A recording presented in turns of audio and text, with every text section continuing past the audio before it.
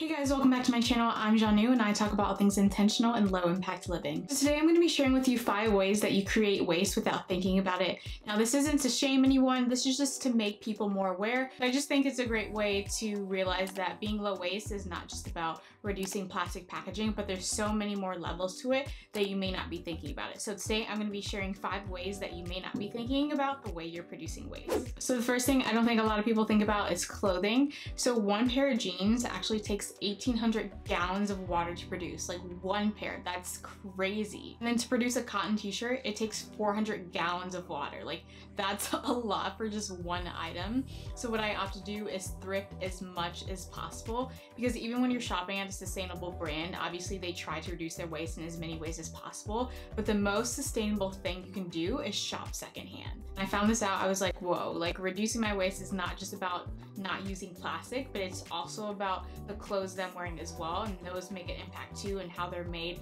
makes a huge impact on the world around me. So I would definitely opt for thrifting over uh, buying from sustainable brands. I recently read this article that said that eating locally is not the most important factor when it comes to your food and how many emissions it produces and how wasteful uh, it can be. It's actually the type of food. So beef, for example, is one of the worst things you can eat. So whether you're vegan or not, that's not what I'm here to like dispute whether you should be vegan or not. But it's just to be mindful of the fact that meat consumption, especially beef, um, really takes a lot of resources. Not only do they have all this land for all these cows, but they also have all this land where they have to grow food for the cows to eat. The cows need to eat food and drink water and like all these resources are going into raising cows um, and it's definitely one of the worst things that you can actually do for the environment. Even if you cut down on eating beef and dairy once a week, you can reduce greenhouse gas emissions more than buying all of your groceries from a local source, which is kind of crazy. So I do think like buying produce and things like that are important to buy locally, um, but also look at what you're eating in terms of meat if you are eating meat. These different items have a footprint, uh, even just like with almond milk, it takes so many gallons of water to produce almonds, which is why I like to use oat milk.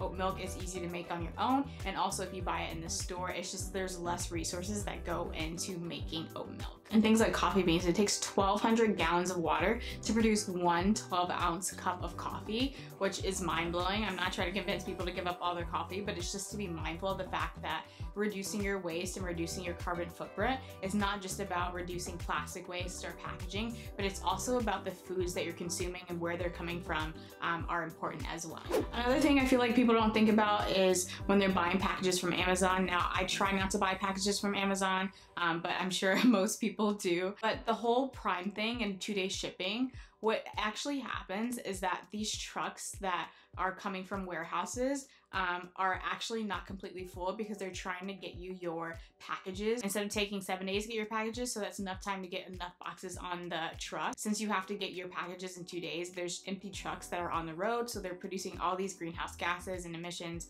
um, when it doesn't need to be as many if the truck was full. So when packages are rushed more than often they are flown on a plane. And that of course produces even more CO2 emissions. So there's all these factors that go into uh, getting a product to your front door. I know a lot of sustainable brands, like sometimes their shipping isn't, you know, two day shipping. It's sometimes it takes a week to get to you, but it's actually better for the environment that way um, to not get all these items as quick as possible. Um, it's important to realize that by it not coming the next day or two days later, it's actually doing better for the environment because then there's more that can be packaged uh, on these trucks. The last thing I feel like people don't think about when it comes to waste is that even if you're shopping in bulk and you're going with your produce bags and you're not taking anything home in plastic, the food that got to the grocery store in the first place more than likely came in plastic. Like I've seen bulk stores where they're refilling the uh, the big bulk containers and they're coming in plastic containers and plastic packaging. I think it's just good to note that even though you are reducing your plastic waste by not bringing anything home in plastic, there is waste that is being produced because these items do come shipped to them in plastic. So it can be very difficult because that's kind of the, the cheapest and easiest thing uh, to receive products in. But I think we need to find ways to work with manufacturers to not have these items come shipped to the stores packaged in a ton of plastic because it's going to create a ton of waste. There's more than one way to reduce your waste. It's not just about not using plastic packaging, but it can be thrifting your jeans and saving, you know, 1800 or 1200 gallons of water. I hope you found this video informative. Thank you so much for watching and I'll see you in the next one.